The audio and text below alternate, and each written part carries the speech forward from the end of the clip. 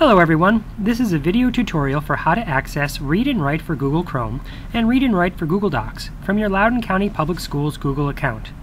Note how I am currently logged into the Chrome browser using my personal account. You might find that when you access the Chrome browser, you are also logged in with your personal Google account. You might also find that you are not logged in at all. If you're not logged in at all, instead of your name appearing in this area, you'll see a generic icon of a person. Select the icon and sign in using your school account. In this case, I'm going to switch accounts from my personal to school account.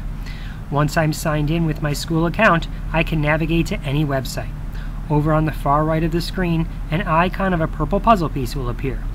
When you click it, the Read and Write for Google Chrome toolbar appears, and you can access the tools within.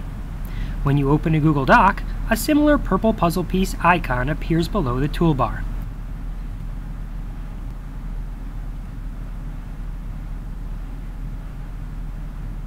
This is the icon for Read and Write for Google Docs.